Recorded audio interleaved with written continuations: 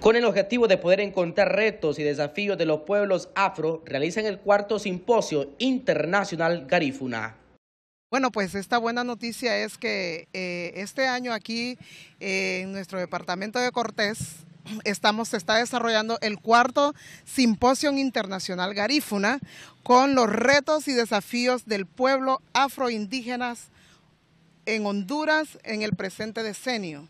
Este, este simposio se ha desarrollado en el país de, en lo que es Estados Unidos, California, y esta vez se está haciendo aquí en nuestro país. Es al nivel internacional donde tenemos delegados de Nicaragua, de Costa Rica, de Honduras, eh, de El Salvador y personas que están de Estados Unidos, pero que son personas de acá, de nuestro país.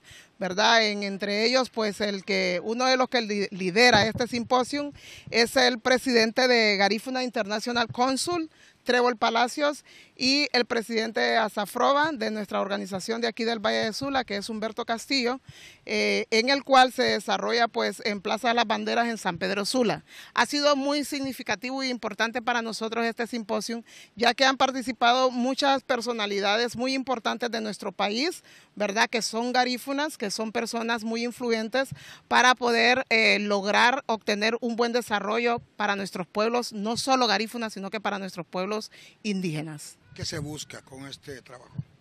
Bueno, la verdad que, lo que se busca es eh, tener una posición más clara, ¿verdad? Y poder incidir y poder lograr obtener cosas positivas para nuestros pueblos ¿Y en, lo que el, el desarrollo.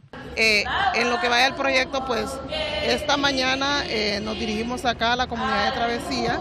se está observando pues algunas manzanas de tierra para poder empezar a emprender el desarrollo productivo en la comunidad, volver a retomar aquellos tiempos de nuestros antepasados, ¿verdad? Con lo que es la siembra de tubérculos eh, y la siembra de medicinas ancestrales, para que podamos retomar eh, las cosas que, se hacían en aquellos tiempos y poder pues servirle a nuestro pueblo.